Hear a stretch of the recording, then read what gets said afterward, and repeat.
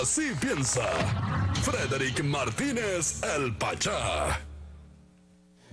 Ramón Álvarez, hombre valioso, humano, sensible. Ramón Álvarez. Te habla tu hijo y amigo Frederick Martínez el Pachá. Si te metes en política no me verá más a tu lado. Ramón Álvarez está recibiendo oferta para ser alcalde de un partido político. Ramón, tú lo has hecho todo sin tener que meterte en política e identificarte con un color político, valga la redundancia. Ramón Álvarez, hombre valioso. Ramón Álvarez, buen padre, buen hijo en pantalla, foto para que la gente sepa de quién estamos hablando. Ramón Álvarez con su fundación, dueño de bancas. Gran parte de ese dinero que usted ayuda, él compra uniformes, él compra silla de ruedas, él mantiene una fundación para los viejitos con pamper.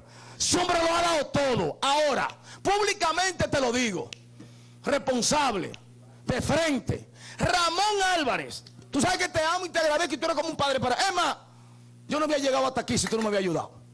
Si te mete alcalde por un color político, que creo que es por el PRM, no sé, que le están ofreciendo, y está a punto de decir que sí, me perdiste. Y perdóname, vamos a llorar juntos. No te quiero en política, Ramón Álvarez. Perdóname, Ramón.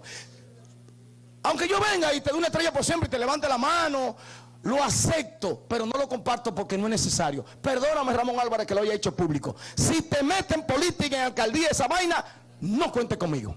Te lo presenté el 15 de marzo del año 2015, un domingo a las 11 de la mañana.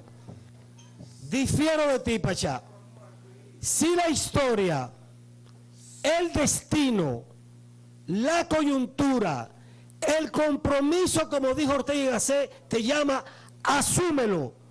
Porque tú eres un triunfador en el mundo empresarial, en el mundo privado. hecho todos en la Sí, política, sí, sí, sí. Y precisamente hombres como Ramón necesitamos en la política que no van a buscar, sino que van a ayudar. Cuenta con mi apoyo y mi endoso si decides lanzarte, porque tú vas a aportar y tú no vas a robar. Ramón, estoy contigo. No, pero tú no tienes madre. Dame, el dueño de negocio se va por una línea y este le hace la contraria.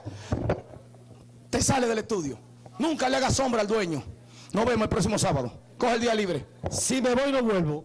No, quédate, mi hijo, quédate aquí. Venimos con sex appeal. Poncha, Rich. Así piensa Frederick Martínez el Pachá.